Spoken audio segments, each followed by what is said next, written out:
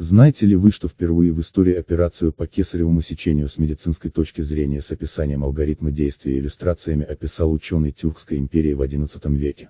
Кесарево сечение – это одна из возможностей родовспоможения, применяющаяся в современной акушерско-гинекологической практике. Название происходит от латинского слова и означает королевский разрез. Кесарево сечение люди делали уже с древности, извлекая ребенка из умершей либо умирающей матери. Роженицы не выживали никогда. В XI веке ученый Тюркской империи Газневидов, Альберуни в своей книге Ел Асар Ел Бакии с иллюстрациями и подробным алгоритмом действий для медиков описал, как делать операцию в надежде, что роженица выживет. Это был первый научный медицинский труд в истории, описывающий кесарево сечение. Человечество еще долго боролось за жизнь женщины при кесаревом сечении. Смертность стала низкой лишь в 20 веке при появлении антибиотиков. В наше время кесарево сечение применяется широко, так как смертельные случаи стали редкостью. И заслуга в этом не только европейских и американских ученых, но и ученых тюркского государства газневидов XI века. Вот такие дикие кочевники мы были.